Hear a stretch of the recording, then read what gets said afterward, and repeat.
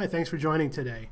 Today we're going to look at a few examples of using curl, which is a command line utility, which will allow you to um, make HTTP requests to Alfresco. And it is a, a, Linux command line utility. However, today I'm going to use Cygwin, um, which provides a lot of Linux capabilities on the, the Windows machines. Curl's a, it is a command line utility. It's very simple just to issue a, a simple HTTP request. You just type curl and then pass the URL that you want to call. However, um, there are a whole bunch of different command line um, options you can pass, um, and these are well documented um, in the man pages or uh, online. Um, we're going to use a couple of them today, and I'll point those out when we use them. But the simplest, obviously, is just to type curl and then type the URL that you want to call, and then you actually get the page response back from the HTTP request. So today we're going to look at ways you could use curl to do some simple testing. If you're writing web scripts, you can write some basically curl scripts to uh, test your web scripts with. Um, we're going to call some sort of out-of-the-box API calls in Alfresco as an example today, but you know this is generically applicable to any any web script calls that you need to make. Um, so first thing we're going to look at is um, the web script index in Alfresco, and this is just a sort of vanilla installation of 415. And you can see if you go to um, Alfresco S index, you get the whole list of uh, web scripts that are deployed in an environment. Now, today we're going to look at just some of the admin scripts, and these are really useful because there's a couple of good examples. Um, so I've clicked into the admin family, and you can see we're going to look at um, get repository restrictions, which is a GET request, and it requires guest level authentication. And then we're going to look at uh, repo usage update, and that actually requires a post, and it also requires admin authentication level. So two good different examples um, of you know one web script that allows for guest usage and it will take a GET, and one that is a post and requires admin level authentication.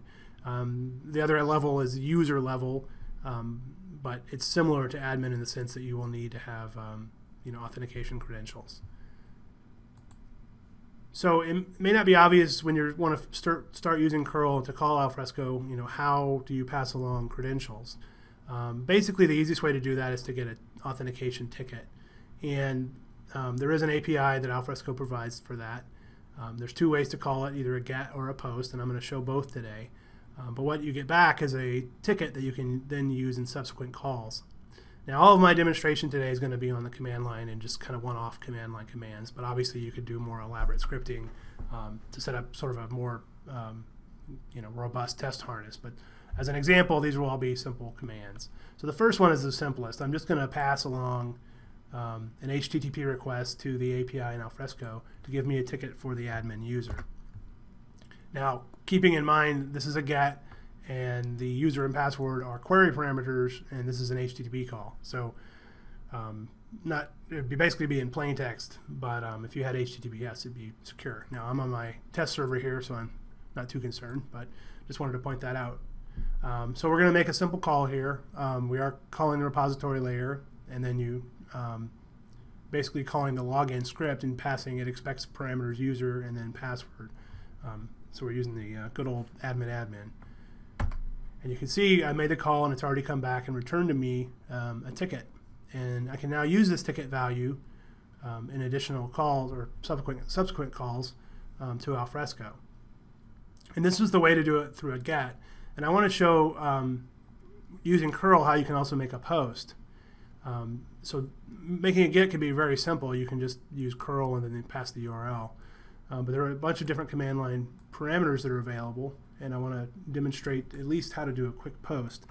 Um, if you do use a post to get your ticket, um, Alfresco expects the username and password to be in the form of uh, JSON.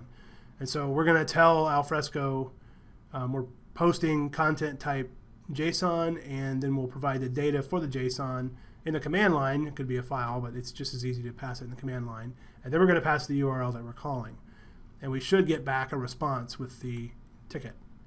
So let me paste this URL. I've already written it.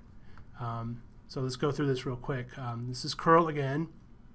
And then you're telling it I want to use a post explicitly. Um, and then you're telling in the header, I want to say content types application JSON. And then this is the data that you're going to pass along. And you can see I've made some JSON here, just username admin, password admin. And, um, and then this is the URL that we're going to use.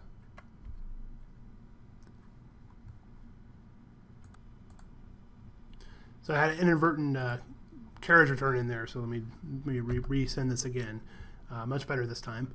Um, so you can see here we get back a JSON response with the ticket in the JSON. And I can actually now parse that. Um, the first request I uh, cut and paste error with a carriage return, so I got a big stack trace back with a 400 error. Um, so now I have my ticket.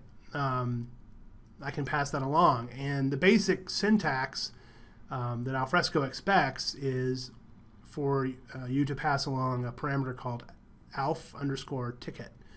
And um, that can be passed as a query parameter if you're doing a get, or it can be part of your form if you're doing a post.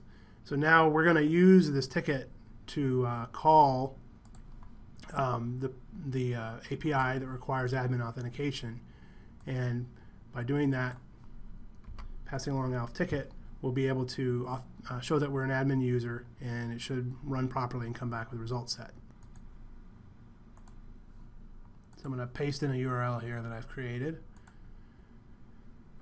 And you can see here, um, we're just passing one parameter. Now you could pass a whole bunch, right? It depends on what the post uh, needs. This one only expects, uh, doesn't actually expect any parameters, but you do need to pass along um, alf underscore ticket. And you can see I set it equal to ticket underscore and then the ticket value. Um, so when you pass this along, it's going to sort of verify that you are the admin user. And again, I've told curl explicitly that I want to do a post and then that this is the data that I want to post. And then that's followed by the URL that I'm going to post to. So let's um, I'll hit enter here. And you can see it comes back with uh, information about my, kind of useful actually, information about my environment. Um, so it's pretty straightforward um, to do that. Now, again, if you were doing a GET and it requires authentication, you would just pass alf underscore ticket as a query parameter. Um, so this is really quick, easy way to write a couple of scripts to do some testing. And actually, to be honest, these are um, this is another way you could write scripts to do to pull uh, information about the repository. Um, just that's one of the reasons I looked at these is because it's kind of an interesting set of data. Uh, we have clients that uh, do uh, server monitoring, and this is a, a, neat way to get at some of the data from there. Um, I mean, obviously you can also use stuff like JMX, but um, this is a quick way to do some um, simple monitoring. So now we're going to do, that was a, a web script that required um, sort of a user authentication, actually admin level, but it could have easily been user authentication.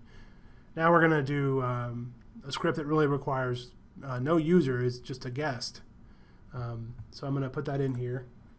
And this is just to get the uh, restrictions web script. So let me paste this.